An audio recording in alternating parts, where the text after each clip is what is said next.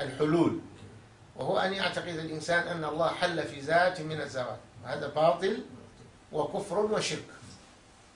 الاعتقاد الثاني هو الاتحاد. أن يعتقد الإنسان أن الله اتحد مع الأشياء أصبح هو الأشياء. هذا أيضا كفر وشرك وباطل. أما الاعتقاد بأن الله تبارك وتعالى هو خالق الأشياء وهو فاعل كل شيء وأن الأشياء كلها معدومة في حال وجودها. لا تفعل شيء ولا لا وجود لها إطلاقا في شهودنا. ليس في الوجود ولكن في الشهود. نشهد أن الله وحده الموجود وأن الأشياء كلها عدم. هذا هو اعتقاد الأولياء واعتقاد الصالحين.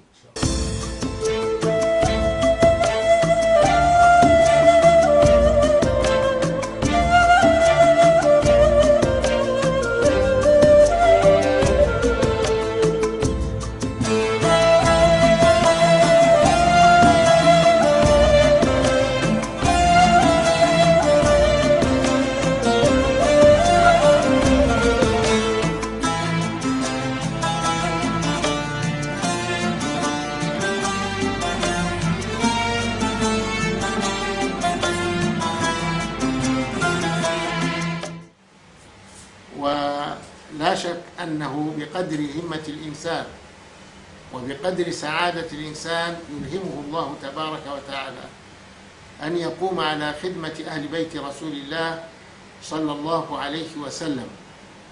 وأهل بيت رسول الله صلى الله عليه وسلم في عمومهم كجميع أهل البيت وفي خصوصهم كأبناء الشيخ التياني رضي الله عنه جميعا خدمتهم لا تضيع سدى وأثرها يمتد من الحياة إلى ما بعدها من الدنيا إلى الآخرة.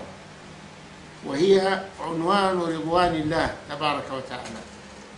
لا يوفق لهذه الخدمة إلا مقبول إلا شخصا مقبولا عند الله.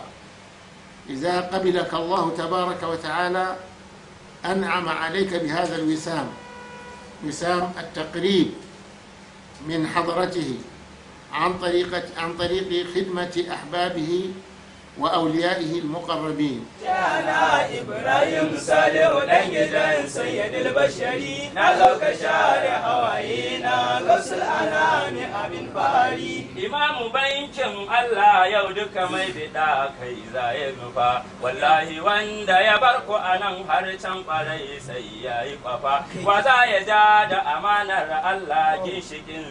da nagari shana ibrahim salihu dan gidan sayyidul bashari. Na zo ka share hawaye.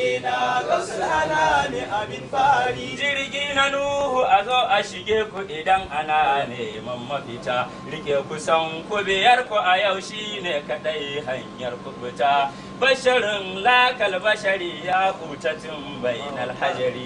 Shana Ibrahim Salihu ɗan gidan Sayyidul Bashari na zo ka share hawaye na gasul anami abin fari. Gausul a'azam ibn Salihu har yanzu daga ba shamaki mai girma tatacce da san ba a kai maka ba. Ba ga hamsa ba a gano ka ba sai a yau mulma hashari. Yana ibrahim salihu dan gidan sayyidul bashari. Na zo ka share hawaye na gausul anami amin fa fal abdu indama yatawajjahu.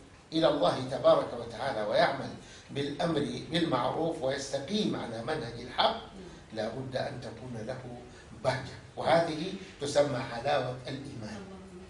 وحلاوة الإيمان عندما يذوقها الإنسان يحلو كل شيء أمامه. لا تجده مهموما ولا مغموما بل فرحا مسرورا. وتظهر على وجهه نظرة نعيم المعرفة بالله. نظرة نعيم التقيد بأمر الله. نظرة نعيم القبول من الحق تبارك وتعالى له ونظرة نعيم المحبة الإلهية التي وقع فيها. ولكن عندما يعصي ويخالف ويبتعد عن الله تبارك وتعالى ينتابه في قلبه ظلمة ويغطي وجهه كسوفا. يكون نور- نوره في وجهه مكسوف. وتراه أنه غائب موجود. يعني أنه لا يستطيع أن يجد نفسه. يطلبها ما يجدها. لذلك لأنه في هذه الحال نسي الله فنسيه الله.